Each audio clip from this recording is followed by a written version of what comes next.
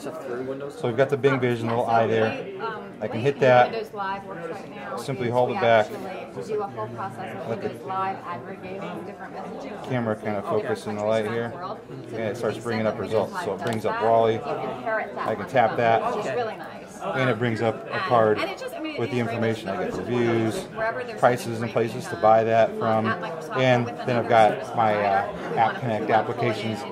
And make it just So here are three applications that have things to do with this DVD or this this book, for instance. If I could do the same thing with a book, I could also do the same thing I'm sure I can with scan it, I just don't get anything. a barcode using the same thing. So I could go back to Bing Vision, hit that, It's fascinating. I was doing it last come down. I Did it on could scan a barcode of a, you know, And then it showed a pack of gum, in fact, and it just It was like there's information about that book. So barcodes, covers, it all works really nice, really quick and easy, and it can bring up all the different results. Can you show the integration to Kindle with that? The uh, Kindle app with, I through the don't know that this book is. It didn't come up on this one. Didn't come up on. then It's available on Amazon.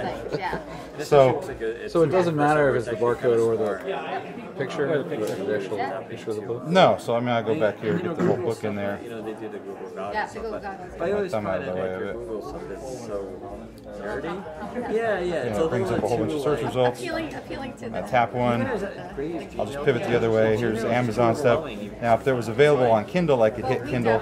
The operating system is going to hand off that information, that search information, to the Kindle app as the Kindle app launches, and it would take me. I'm not registered for my. I didn't register this one yet.